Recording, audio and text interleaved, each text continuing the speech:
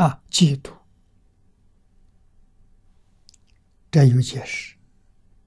嫉妒他之生死，又害贤越己。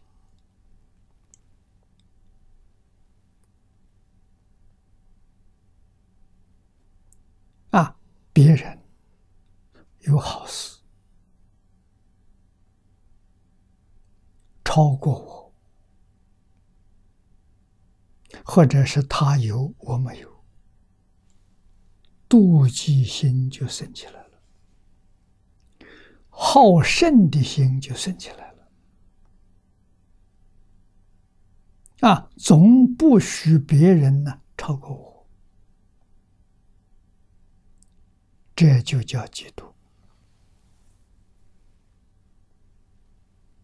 啊，嫉妒是严重的烦恼，严重的恶业。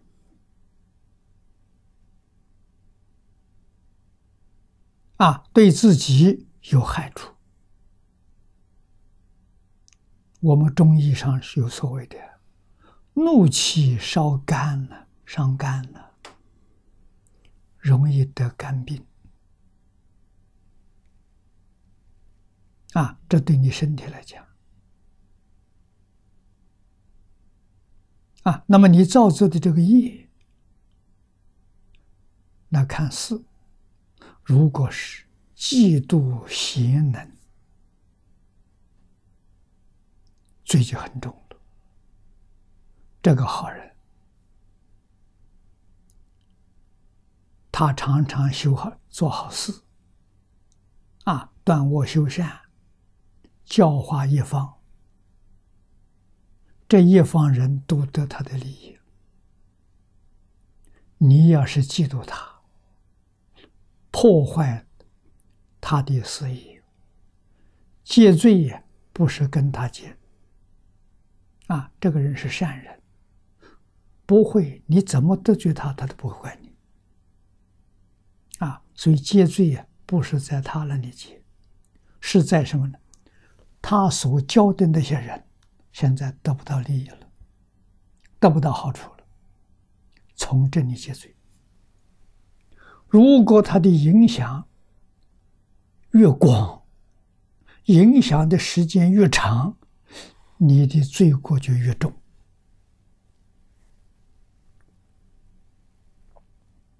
啊，所以障碍一个普通人，那个罪很小啊；障碍一个德行、有教化的这样的人，那个罪业很重。哎，这个一定要知道啊！啊，我对他修忏悔，对他修忏悔没必要，他根本就不会怪你。对谁修忏悔呢？要对所有受教的人民，那么多人民失去了教诲，那么多人民利益丧失掉了，你要对那些人忏悔呀！这谁懂啊？没人知道啊！啊，如果这个人做的好事是对全国都有利益，那你得对全国人求忏悔。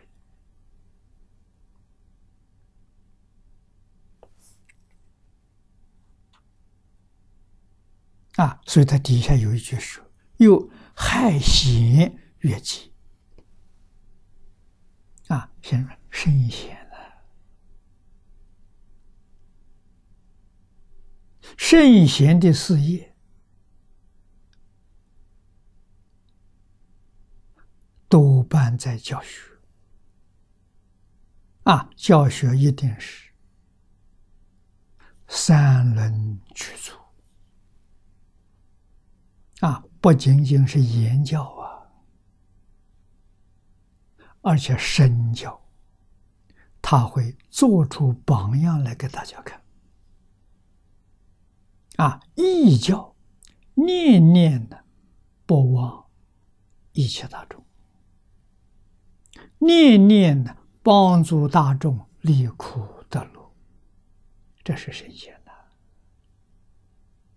他住在这一方，这一方人有福啊！一方人都接受他的教诲。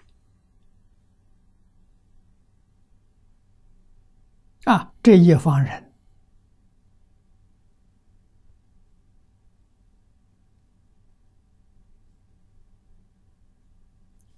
安定和谐，啊，肯定是互相尊重、互相敬爱、互相关怀、互助合作。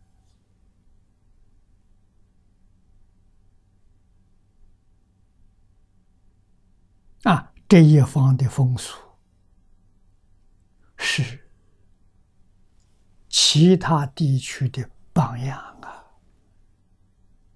这个人在这里行这样的善事，你把他破坏了啊！如果他真的是圣贤，他心地很平静，没有一丝毫怨恨，有怨恨不是圣贤人。啊，所以他决定不会责怪你。啊，所以这个罪从哪里得的呢？是从受贿的这一些大众，你把他们的利益断掉了，罪从这里起。